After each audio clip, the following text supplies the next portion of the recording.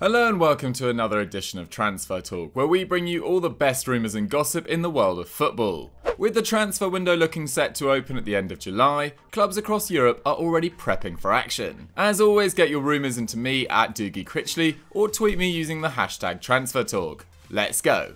We start with a reaction to the huge decision on Monday that saw Man City's two-year European ban overturned. The news meant the Sky Blues can press on with their transfer plans unaffected, and according to reports Pep Guardiola should have an incredible war chest at his disposal. Both The Guardian and The Telegraph are claiming he will have up to £150 million to spend on recruits, with new options in defence the first area the Spaniard intends to sort out. Top of his list is Bayern Munich defender David Alaba, and the Napoli star who keeps popping up in transfer talk, Kalidou Koulibaly. Alaba worked under Guardiola at Die Roten and could be interested in linking up again at the Etihad. Capable of playing across the back four and in midfield, his versatility makes him a valuable asset to any side. And with just one year of his deal at the Allianz to run, Bayern are reportedly open to cashing in on him while they can, with his value currently around the £30 million mark. Koulibaly meanwhile would be a blockbuster addition at centre half. With Victor Osimhen's massive £74 million move from Lille to Napoli all but confirmed, the Partenopei will be eager to recoup some of their expenses. Their asking price for Koulibaly is around £70 million,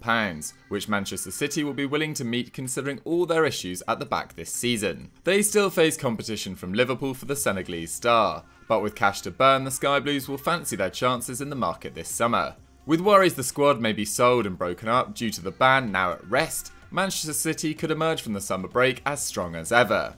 Kalidou Koulibaly isn't the only centre-back in Guardiola's sights with Manchester City scouting out Inter Milan Slovakian star Milan Skriniar. However, it appears they are facing mounting pressure for his signature from cross-city rivals Man United. The Red Devils are keen to find a new defensive partner for Harry Maguire, as they are still unconvinced over Victor Lindelof's pedigree. And according to Football Italia, they believe Skriniar perfectly fits the bill. The 25-year-old has been a mainstay in Antonio Conte's defence, making 37 appearances this season. But recent speculation has suggested Conte is growing increasingly open to the idea of selling his star defender. The Nerazzurri could command a price in the region of £54 million for the 25-year-old, and considering the rise of Alessandro Bastoni in recent months, moving Skriniar along could be a clever move. Tuttosport even claim United have lodged a £58 million bid so far. If that wasn't enough, he was left out of the side for Inter's clash with Torino earlier in July, throwing further doubt on his future at the San Siro. A cheaper and younger alternative to Kalidou Koulibaly, don't be surprised to see the clubs of Manchester fighting it out for Skriniar this summer.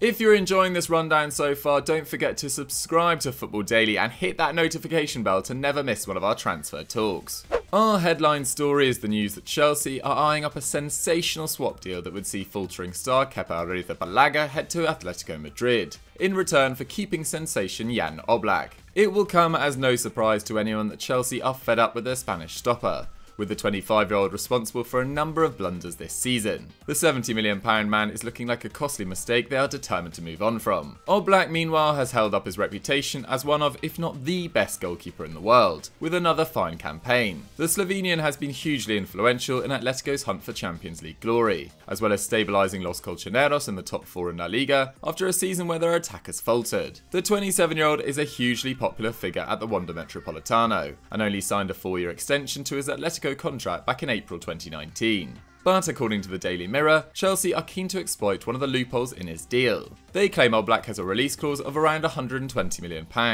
which Chelsea believe they can navigate provided Kepa is part of the equation. The Blues reportedly value Oblak at no more than £100 million, so hope a cash plus Kepa deal could be enough to draw Atletico into negotiations. While it seems unlikely that Diego Simeone's side would consider selling their prized asset, the financial implications of the coronavirus pandemic means a strong offer from Chelsea could be too good to ignore. The Blues have already made some stunning signings this summer, but the arrival of Oblak in place of Kepa would undoubtedly be the pick of the bunch. Last weekend, the Premier League suffered its first casualty of the season as West Ham condemned Norwich City to relegation. Sadly for the Canaries, the Vultures are circling with a number of big clubs eyeing up their young stars. Pick of the bunch is Emiliano Buendia, the Argentine playmaker who has made quite a name for himself this season. Though he may only have one goal and seven assists to his name, as of July the 4th, only four players in the Premier League had created more chances than the 25-year-old. Buendia joined Norwich from Getafe, and there is every chance he will be heading back to Spain this summer. The Daily Mail are among a number of English and Spanish outlets reporting that both Atletico Madrid and Valencia are keen on the midfielder, with bids set to start around £15 million. Buendia may have recently told Sky Sports he is happy at Carrow Road, but the opportunity to swap the championship for a La Liga giant should hardly be sniffed at.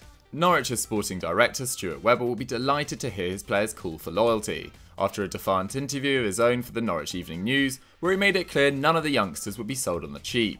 Bids are expected to come flying in for the likes of Ben Godfrey, Todd Cantwell, and Max Aarons, though Webber was adamant the starting price for any negotiation is £20 million.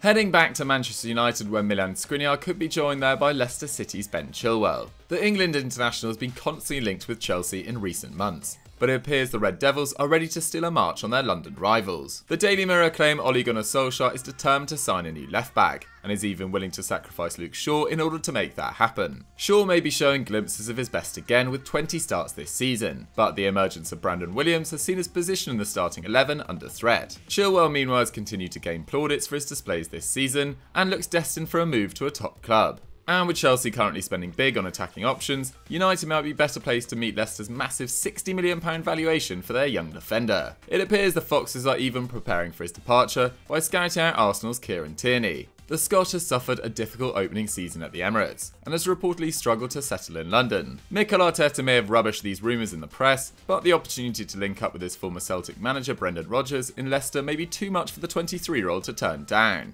Either way, any move for Ben Chilwell could cause a domino effect of transfers in the left-back position. We finish with the new Southampton are expected to confirm a move for Real Valladolid star Mohamed Salisu. The Ghanaian centre-back has been on the watch list of a number of clubs across Europe, but Ralph Hasenhüttl's side appear to have won the race for his signature after agreeing to pay his £10.9 million release clause. At just 21 years old, Salisu has become a regular starter in La Liga, and at 6'3 strikes a commanding figure at the back. Sky Sports reported that French side Rennes were also close to landing him, though Salisu has chosen the Saints. With Jannik Vestergaard and Pierre-Emile Højbjerg expected to leave Southampton this summer, the club will see the signing of Salisu as an important step towards building for next season. The Daily Mail are claiming that a work permit is all that stands between this deal being announced, so the Saints should be very happy with this tidy piece of business. So guys, that was transfer talk for another week. What did you guys think of the stories? Did we miss any out? And which of these do you actually see happening? Let me know in the comments down below. If you've enjoyed this video, as I said earlier, don't forget to smash that like button and subscribe to the channel. And I'll see you next time.